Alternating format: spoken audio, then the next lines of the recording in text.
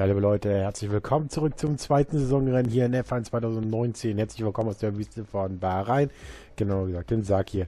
Ja, schön, dass ihr wieder dabei seid nach dem auch für mich persönlich sehr enttäuschenden und ärgerlichen Ende des Grand Prix aus Australien, wo wir wirklich die Chance hatten mit Platz 14 oder 15, ich weiß es jetzt gerade nicht mehr auswendig, ähm, einen wirklich guten Auftakt zu äh, liefern und alles von dran. Den Haas hätte ich locker bekommen, den hätte ich wahrscheinlich bekommen. Ich weiß nicht, ob es davor noch den Fossinier gewesen wäre, aber hätte wäre wenn. Äh, leider hat mein Lenkrad ein bisschen gestreikt und alles drum und dran. Ich konnte es nicht mehr rechtzeitig in Gang bringen und so standen wir eine Weile in der Mauer und wurden leider mit Platz 20 und einer DSQ-Strafe belegt. Ja, mal gucken, aber jetzt hier in Bahrain, wie gesagt. Trainingssessions sind unerlässlich für die fortlaufende Entwicklung des Wagens. Aber wenn es nötig ist, kannst du die Session auch simulieren. Es ist nicht so effektiv, wie selbst hinter dem Steuer zu sitzen, aber besser als die gesamte Session zu verpassen. Nö, wir fahren sie. Wir müssen sie eh fahren, äh, beziehungsweise lernen. So, ich habe jetzt tatsächlich auch einige Setups schon drin. Bis, als ich jetzt in Spanien habe ich mir die Setups geholt. Ähm, dass ich zumindest ein paar Setups habe. Ich habe auch Mexiko habe ich drin. Aber es kann auch theoretisch sein, dass wir demnächst in der Samstagsliga umsteigen auf das neue Formel 1 äh, in der F1 äh, auf hier auf das neue F1 2090. Wir werden auf jeden Fall noch mit ein bisschen F1 2018 fahren. Ich vermute, dass wir morgen nochmal mit dem 18er fahren werden. So, nebenbei. Aber das kann ich euch noch nicht versprechen. Wie gesagt, ich melde mich jetzt sofort, oder wie werdet ihr das wahrscheinlich auch sehen. Teams bleiben gleich. In der Sonntagsliga wird es wahrscheinlich so hinauslaufen, dass wir wahrscheinlich dann auch demnächst auf das 19er umsteigen. Das sieht wohl alles sehr, sehr gut aus. Ja, da gibt es auch noch ein paar Gerüchte, aber wie gesagt, das ist auch noch nichts bestätigt. Ich werde dazu auch noch irgendwann mal meine Meinung abgeben. So, ähm. Ja, und der Motorsliga wird wahrscheinlich auch durchgefahren mit dem 18er. Aber, wie gesagt, ihr werdet es ja rechtzeitig merken. Ich freue mich auf jeden Fall, wenn mit dem F1 2019 weitermachen zu können heute. An diesem Freitag. Ja, Nachtrennen, das erste von äh, dreien in der Saison. Wobei eines davon tatsächlich also ein teilweise Nachtrennen ist. Wir haben nämlich dann noch Singapur später in der Saison, nach dem Europaende in Italien. Und äh, dann zum Saisonabschluss der Grand Prix aus Abu Dhabi. So, 21 Rennen stehen an, das zweite machen wir jetzt und wir gehen rein ins erste freie Training.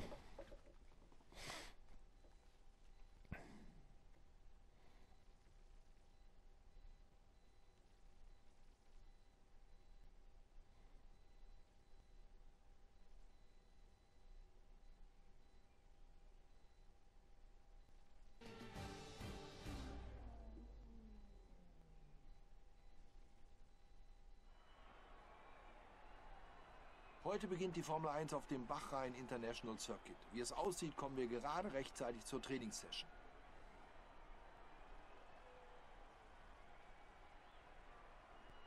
Stefan Römer, wie viel Zeit werden die Teams hier investieren, um Änderungen an den Autos vorzunehmen? Man muss zuerst grundlegende Tests vornehmen. Funktioniert das Auto richtig? Wie sind die Streckenbedingungen? Solche Dinge eben. Dann geht man ans Eingemachte und führt Test-Sessions durch, in denen man Daten sammelt, neue Teile ausprobiert und alles Mögliche einstellt. So viel echtes Training findet gar nicht statt. Viele der Fahrer kennen die Strecke bereits sehr gut, sei es durch vorige Rennen oder den Simulator.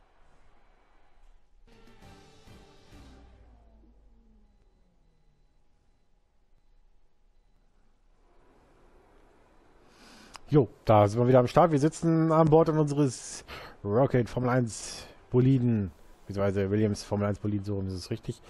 Ja, wir wollen das Team natürlich wieder dahin bringen, wo es äh, mal war, nämlich wieder an die Spitze zurück. 97, 98 waren Williams wirklich mit eins der Top-Teams. Auch bis Valtteri Bottas dann leider ging. Ich glaube, damals wurde man Dritter sogar in den Bar in, in, in, in Abu Dhabi, meine ich, in dem letzten Rennen. Zwischendurch mal auf Felipe Massa gut, der hätte seine Probleme nicht gehabt, wäre der da wahrscheinlich auch vorne mit reingefahren, aber hätte, wäre, wenn. Ist leider nicht so passiert. So, mal gucken, wie dieses Auto heute sich in Bahrain anfühlt. Ich gehe mal rein, äh, suche mal mein Setup raus. Für die Leute, die bei meinem Setup gerne haben wollen oder zumindest mal zeigen wollen, zeige ich euch das ganz einfach. Benzin, das fahre ich auf 10 Kilo, Aerodynamik 5,7, Transmission 50, 75. Ich fahre mit Lenkrad übrigens mit äh, Logitech G29. Nur dazu als kleine Information, falls auch Leute Lenkräder suchen. We'd like to run the acclimatization program if you have a chance before qualifying. It'll give us a good indication of our relative pace and consistency. Dankeschön für die Information. Äh, ja, was habe ich gerade gesagt? Genau, ich fahre mit dem Logitech G29, ganz einfach, falls ihr noch Lenkräder sucht, zumindest als Einsteiger und gerade mit dem Controller kommt, holt euch dies, eines dieser Lenkräder, genauso wie das Ähm, T300, ich komme gerade nicht auf den Hersteller. Das ist, glaube ich, auch kein. Ich glaube, das Thrustmaster T300, glaube ich, ist es richtig. Oder T150, eins von den beiden. Auch sehr einsteigerfreundliche Lenkräder. Nebenbei sitze ich auf einem Playseat, äh, den ich mir damals im Autoversand gestellt habe. Werbung. Oh, halt doch die Fresse. Ja, ähm, ich kann auch unten lesen, dass nur ein Auto auf der Strecke ist. So, ja, genau, 50, 75, das habe ich gerade schon angemerkt. Dann fangen wir weiter mit der Radaufhängung. Eins mal rechts, zweimal links, simpel und klar. Und dann einfach die Radaufhängung mit 4, 4 und 4 mal die 3. Die Bremsen fahre ich auf 75, 57, ganz einfach. Wie gesagt, ich fahre auch noch mit Lenkrad, also mit der, mit der Pedalerie. Schon seit einigen Jahren mittlerweile. Äh, und die Reifen 25%, äh, 25 PSI vorne und 21,5 hinten. So, jetzt habt ihr auch ein Setup und äh, ja. Gut, dann würde ich euch mal mit auf eine Runde nehmen hier in Bahrain. Wir fahren kurz auf die, gehen auf die Strecke und gucken, was die die Medium, äh, die harten Reifen mit dem H gekennzeichnet. Ich gucke euch, das ist diesmal ein bisschen was einfacher als im letzten Rennen. Da steht was nicht.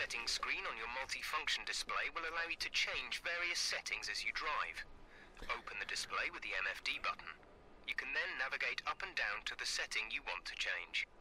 Dankeschön für die Information. Mein Gott, gib mir manchmal mit der Engine auf den Sack. Gut, ganz einfach. Wie gesagt, wir fahren mit den ha also die harten Reifen, die Medium-Reifen und die Soft-Reifen. Das ist alles ein bisschen einfacher. Es gibt keine Super-Soft, es gibt keine Hyper-Soft, sondern einfach nur wirklich Hard, Medium oder Soft.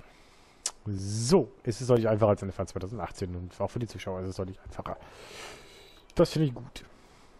So, dann gehen wir mal rein in die fliegende erste Runde und schauen wir mal, was uns hier in der Wüste von Bahrain so erwartet. Wie gesagt, ich erwarte mit dem Auto überhaupt gar nichts, was die Saison betrifft.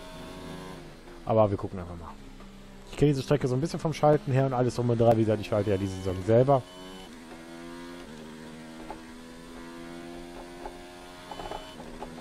So, dann runter in den dritten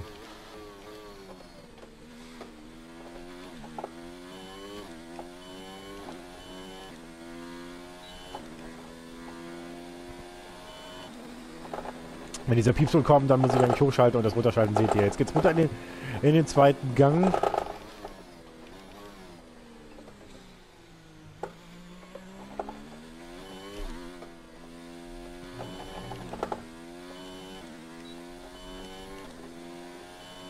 Gut, die Lewis Hamilton Zeit werden wir wahrscheinlich nicht packen. Hier muss ich noch einer runterkommen, weil ich ein bisschen runtergekommen bin vom Ihr merkt ja gerade, dass ich hier ordentlich Wheelspin habe äh, auf dieser Strecke.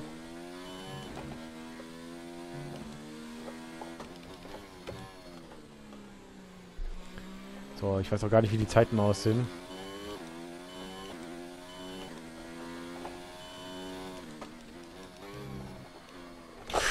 Ja, und genau das, was ich meine. Da wollte er viel zu viel. Und das ist genau das Problem, was wir auch im Rennen hatten in Australien. Da wollte er zu viel. Ich muss das Problem beim Runterschalten.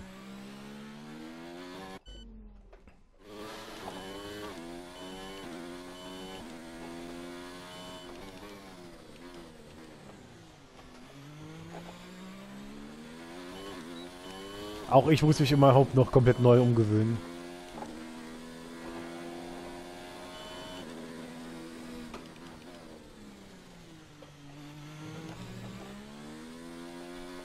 Auch ich brauche hier meine Runden.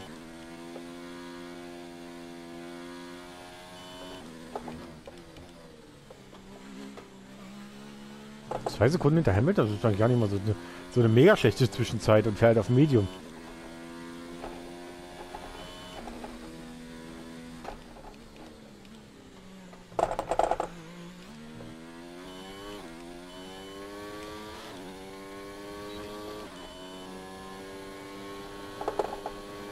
Momentan sitzen wir vor Kimi Räikkönen.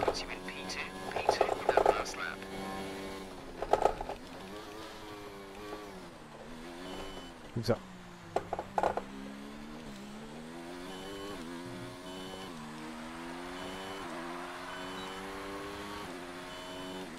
Wir sitzen momentan vor Kimi Räikkönen und Lenz Toll. Das ist gar nicht mal so, so ohne.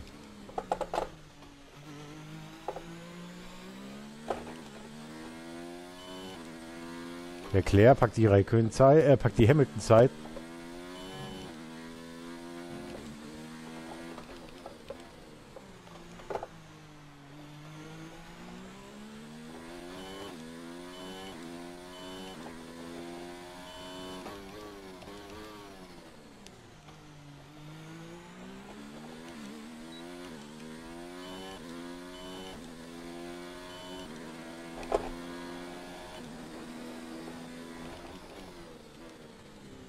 So, ich arbeite mich natürlich wieder ein bisschen rein. Wir sind da sogar nicht mal im Fettgemisch gefahren. Also die Zeit davor, der, der Ferrari und der Mercedes, der Mercedes werden wir gar nicht schlagen können. Denke ich mal.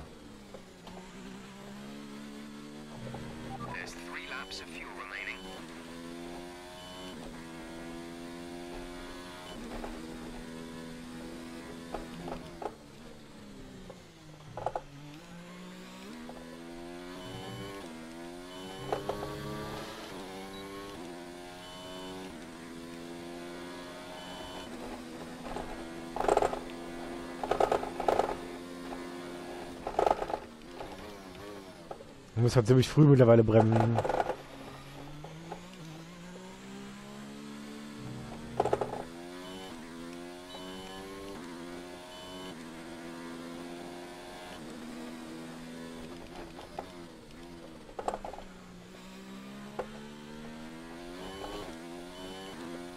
Charles Leclerc vor uns jetzt.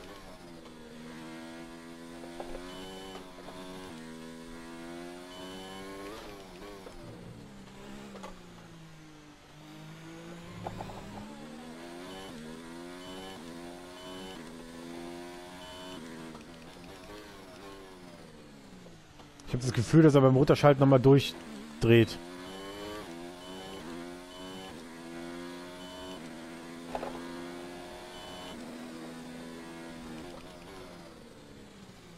Ja, dieses Auto, das regt mich gerade so ein bisschen auf.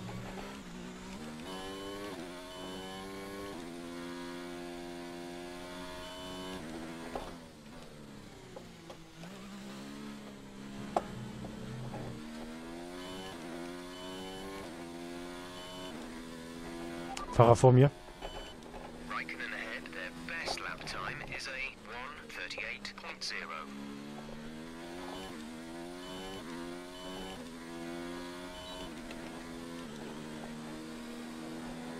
Aber wir hätten ihn momentan. Wir hatten sogar Magnussen kassiert.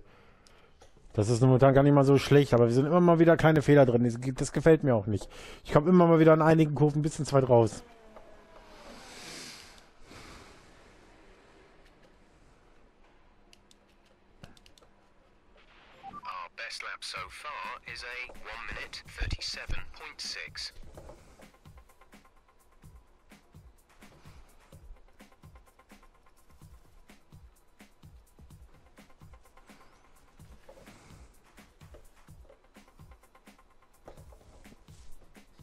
Ich muss gerade mal kurz.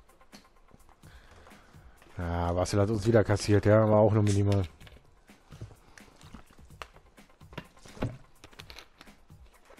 Haben wir einen schnelleren Satz. Mal abgesehen davon.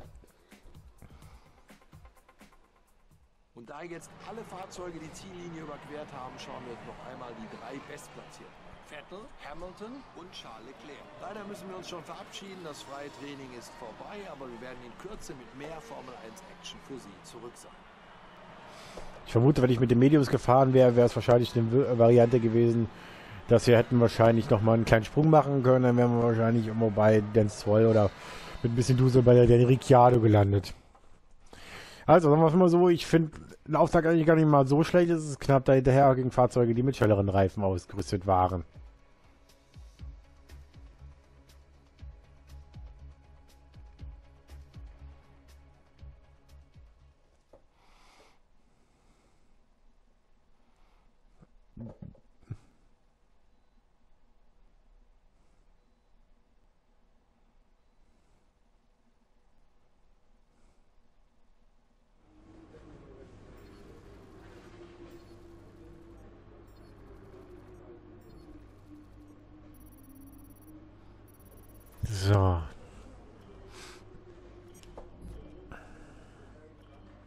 Gut, das war das erste freie Training. Wir sehen uns jetzt gleich wieder im zweiten freien Abschnitt. Wie gesagt, ich lerne. Ich versuche zu lernen, auch ähm, viel, wie gesagt, auch mit dem Schalter. Ich denke, es klappt mittlerweile deutlich besser. So.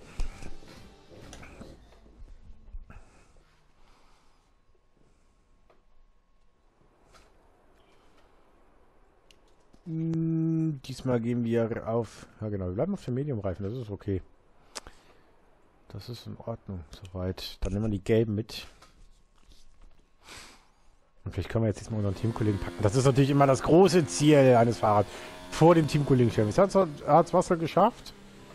In der Quali im Australien haben, haben wir ihn gepackt. Aber da war auch tatsächlich das Problem, ähm, ja, am Ende das Rennen.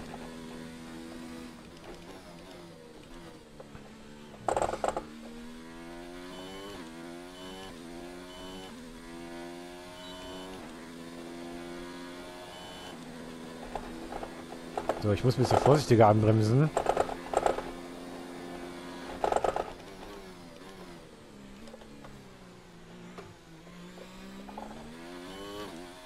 Deswegen werde ich auch ein bisschen weniger quatschen in diesem Let's Play hier. Weil ich halt auch, wie gesagt, versuche zu lernen. Ich muss auch diesen Piepston hören.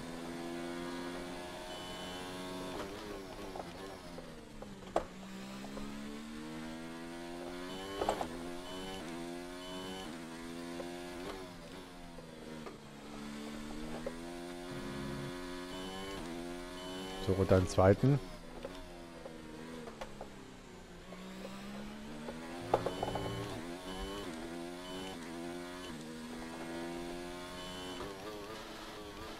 Habt das gemerkt gerade, dass ich beim Runterschalten auf einmal dann nochmal einen richtigen Wheelspin bekomme? Nochmal so richtig Schub hinten auf die Achse bekommen.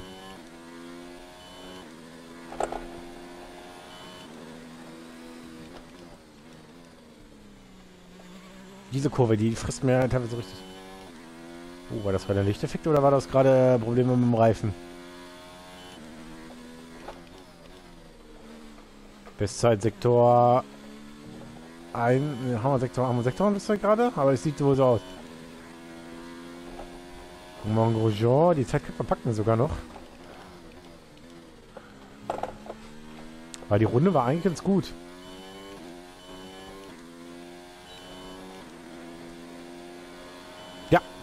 36,4.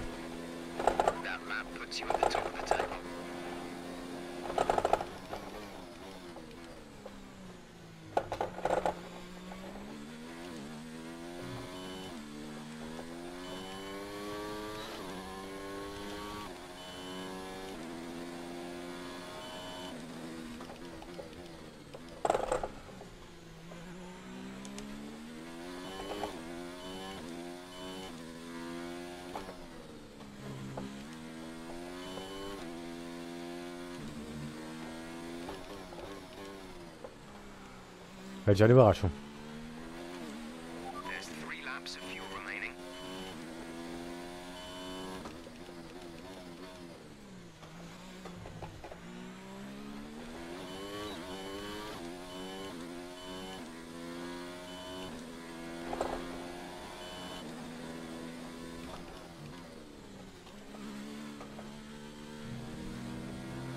Ein bisschen zu weit raus.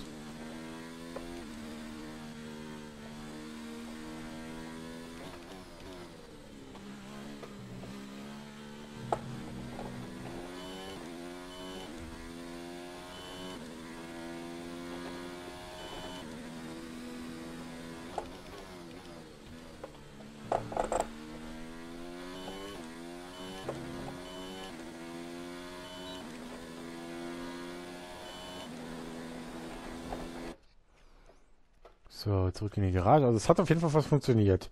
Ich muss sagen, es geht immer jetzt einen Ticken besser, aber es wird natürlich interessant sein, wie das Rennen nachher, äh, nicht Rennen nachher, sondern für euch nachher, für euch am Sonntag. Wie lange sind wir denn dran? 1,1 Sekunden hinter dem Mercedes. Wir stehen momentan eine halbe Sekunde vor dem Ferrari und das muss man erstmal auf die Reihe kriegen mit dem Williams. 1,35,9 momentan.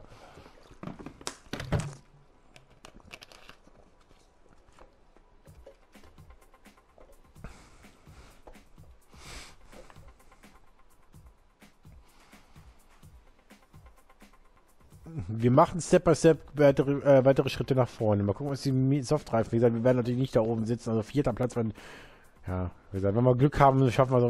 Mein Ziel ist es ja so ran an die Top 10, so 13, 14, 15. Das ist so, ja, 16. Das wäre auch natürlich noch ein Ergebnis, wo man zufrieden wäre mit. Aber momentan hängen wir auf Platz 8. Und das mit Williams. Jetzt 9. Ich glaube, die Top 10, wenn man, das könnte geil werden, wenn wir die wirklich die Top 10 halten würden. Wobei ich vermute, dass es nicht so wird. Es wird wahrscheinlich einer schneller sein werden. Ja, Die Top 10. Session ist abgeschlossen, also sehen wir uns unsere Top 3 noch einmal an. Vettel, Verstappen und Valtteri Bottas. Was für eine unglaubliche Trainingssession. Aber der Spaß ist damit noch nicht zu Ende. Der Rest des Wochenendes liegt noch vor uns.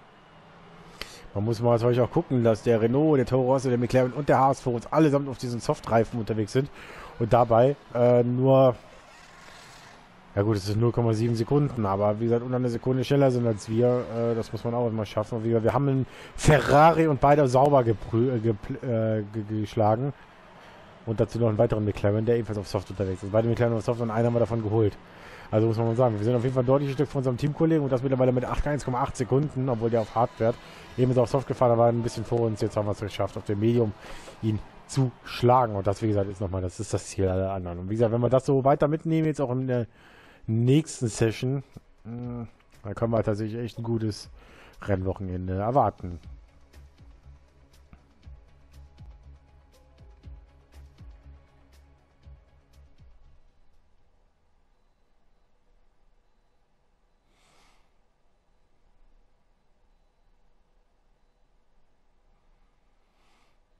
So.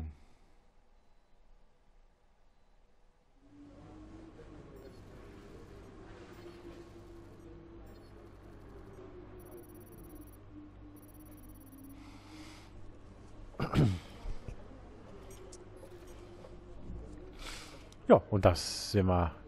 Oder gehen wir mal rein ins dritte freie Training, würde ich sagen. Das letzte Training, die letzte Trainingseinheiten, Einheit für den heutigen Tag, für diesen Freitag hier.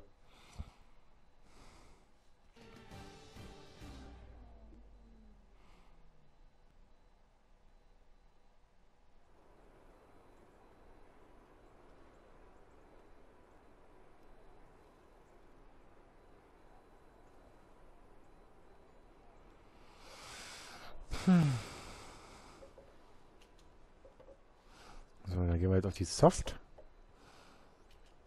Und dann gehen wir auf die Strecke. Jetzt haben wir mit den schnellsten Reifen. Mal gucken, was die jetzt können.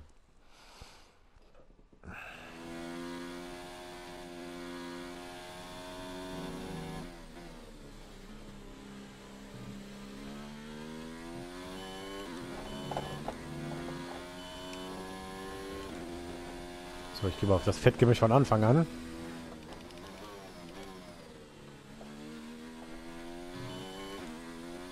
Ich muss ein bisschen reinarbeiten jetzt gerade. Ich, ich bin schon ziemlich heiß auf das, das heißt heiß.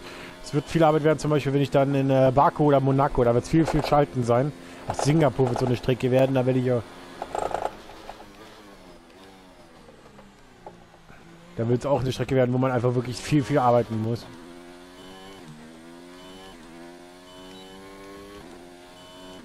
Aber jetzt gucken wir mal, was auf den Softreifen drauf ist. Hat wir den 35,9.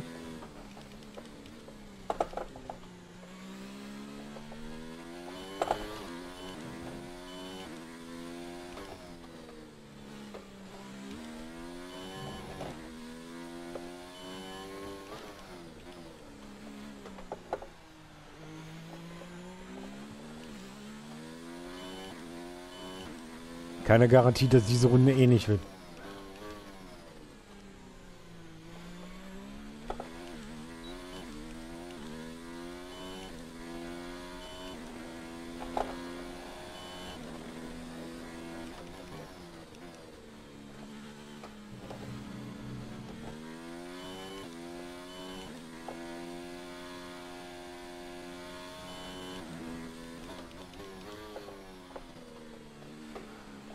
Und da muss ich gerade komplett runter nochmal einen Gang runterschalten, damit der...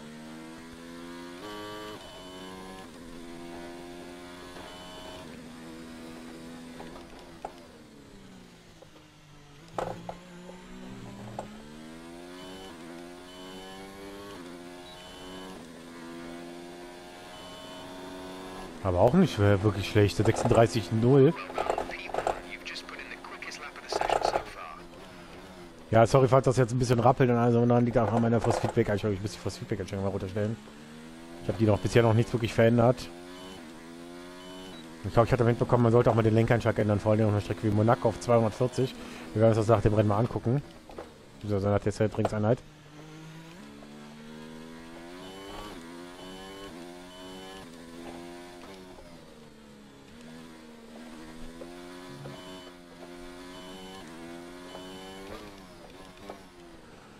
Weil ich gerade wieder ein bisschen im Flow drin bin. Wobei die Runde einfach mies ist.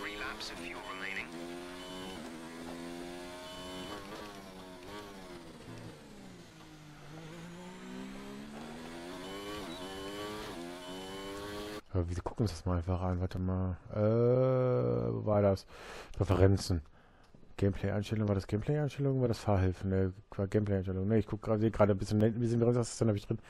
Ich kann ja mal runterstellen. Ich kann ja mal gucken, wie das funktioniert mit der mittleren Traktionskontrolle. Weil, wie gesagt, ich, die, man kann es ja auch ein bisschen lernen im Training. So, Steuerung, Vibration und Force Feedback, Logitech G29, bearbeiten. Ja, hatte ich schon. das. So, äh, Kalibrierung Force Feedback. Was habe ich denn Force Feedback? 110. Ich kann es mal runterstellen auf 70. Ich glaube, 70 war die Standardeinstellung, äh, beziehungsweise die Einstellungen. Warte mal, was haben wir denn? 200 Maximal zwei. Was war das für der Linkeinschlag? 240? Dann reagiert der ein bisschen anders, ne? So. Als neues Dings speichern. Ja, lass mich in Ruhe.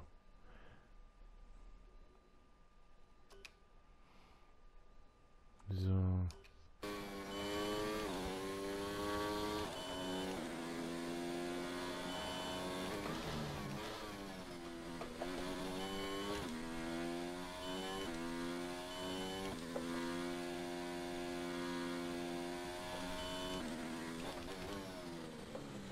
War ja so eh geplant mit der mittleren Traktionskontrolle.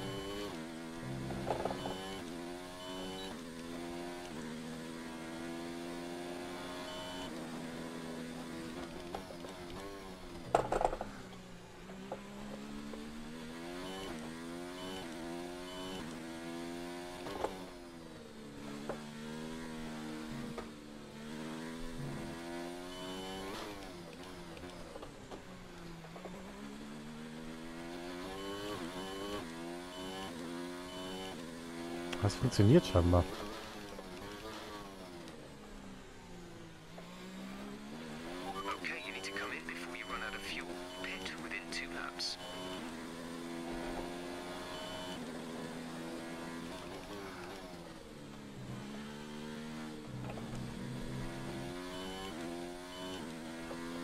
Klar, man muss sich ein bisschen an die, an die Strecke gewöhnen, aber es funktioniert.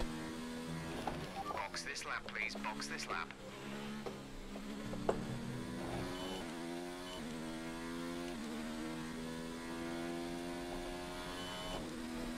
Ja, besser wird's nicht werden, das ist klar. Uh, da bin ich Mist.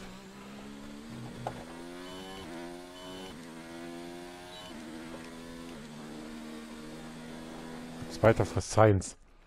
So, dann gehen wir jetzt in die Garage. Also, es scheint wohl zu funktionieren mit der mittleren Traktionskontrolle. Dass das Auto auf einmal deutlich schneller wird.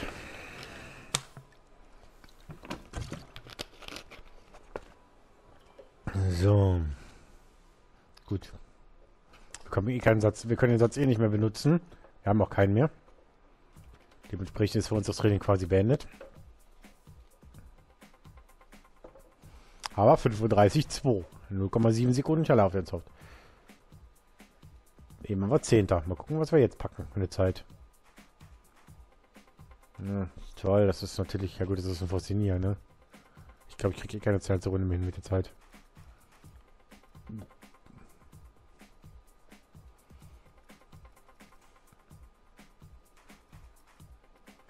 Schon hart, eine Ricciardo und so dahin zu sehen. Aber Ricciardo hat sich jetzt irgendwie nochmal ordentlich verbessert, glaube ich, ne? Ja, dann nicht. Der steht immer noch hinter uns. Ja, Ricciardo und Raikkonen da hinten zu sehen. Zeit, noch einmal einen Blick auf die Erneut die drei Top Ten. Bestplatzierten zu werfen. Leclerc, Bottas und Sebastian Vettel. Wenn das heutige Training auf etwas hindeutet, dann auf ein außergewöhnliches Wochenende der Formel 1. Muss man sagen, auf jeden Fall. Knapp hinter dem Racing Point, das ist definitiv klar. Wenn wir da auf der Augenhöhe mitfahren können, bin ich eigentlich schon zufrieden. Davor ist ganz knapp nur ein Renault. Gut, die Lücke davor zu den Red Bull, Mercedes und Ferrari, die ist natürlich gewaltig, das ist klar. Gut, er hat schon alleine schon auf den, von, von Charles Leclerc auf den Rest des Feldes. Leclerc war ja auch quasi in der Realform an in Bahrain ein wirklich starker, äh, starker Fahrer hier in Bahrain. Nur sein technisch, ein technisches Problem hat ihm den Sieg quasi äh, verhindert. Weil sonst hätte der das Ding gewonnen. Das wäre sicher gewesen. Gut.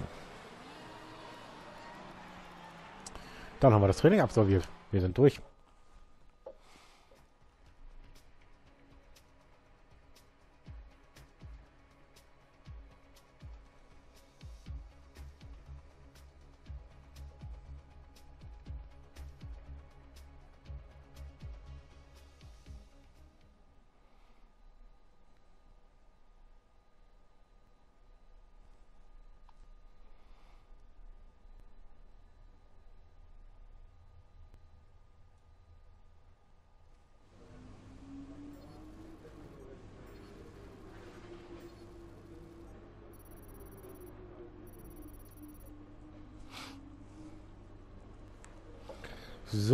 Wie gesagt, ich bin zufrieden. Zweimal Platz 10. Ist okay. Wie gesagt, das erste Vertretung Platz 19 schenken wir uns. Das waren die Reifen, die gar nicht mehr dieses Wochenende zum Einsatz kommen werden. Wettervorhersage bleibt natürlich trocken. Welche eine Überraschung. Gut, dann äh, würde ich sagen, halt, bevor du mir jetzt verschwindest. Äh, warte mal gucken, was wir hier noch, können wir hier noch irgendwas ausbauen?